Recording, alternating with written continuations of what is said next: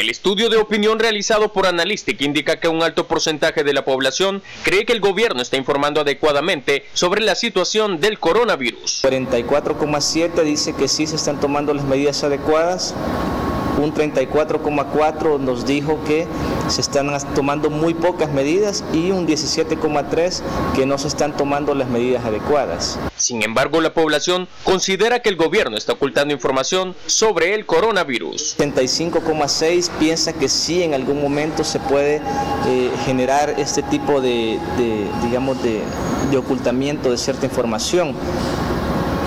¿Cree que el gobierno podría ocultar información sobre el coronavirus para mantener una imagen positiva de gobierno?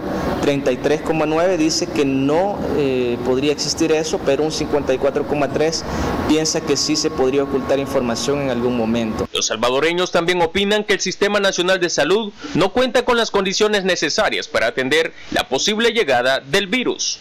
48,8 eh, respondió que el sistema de salud está poco preparado, nada preparado el 41,1 y únicamente el 6,5 piensa que el sistema de salud está muy preparado para atender una emergencia. Según el estudio, las farmacias y negocios se han aprovechado de la emergencia.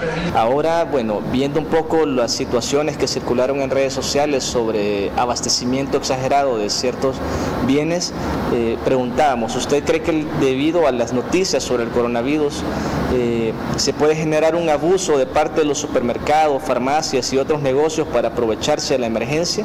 92,6% de la población piensa que sí podría existir un abuso de parte de los comercios ¿verdad? para aprovecharse de esta situación. La encuesta se realizó en el área metropolitana de San Salvador por medio de la técnica de la hipersegmentación en Facebook e Instagram. Para Teleprensa Canal 33, Luis Muñoz.